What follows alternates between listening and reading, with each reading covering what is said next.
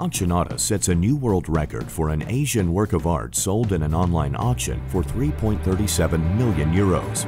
Is open for bidding, starting bid 300,000 euros. The clock attracted more than 1,000 interested auction participants from 35 countries. We're currently standing at 1,400,000 euros, 1,800,000 bids arriving here, 1,900,000, 2 million euros, ladies and gentlemen. Amazing. 2,200,000 on the telephone it is. And we're currently standing at 2,600,000 euros. 2,800,000. Going once. It's going twice, ladies and gentlemen. And 2,800,000 euros sold to a bidder on the telephone in China. The piece was ultimately sold to the well-known businessman and investor Liu Yiqian from Shanghai.